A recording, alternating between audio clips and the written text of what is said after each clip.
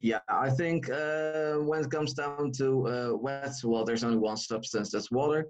But when it comes down to messy, I think you've got uh, ice, custard, and uh, the gunge I mentioned.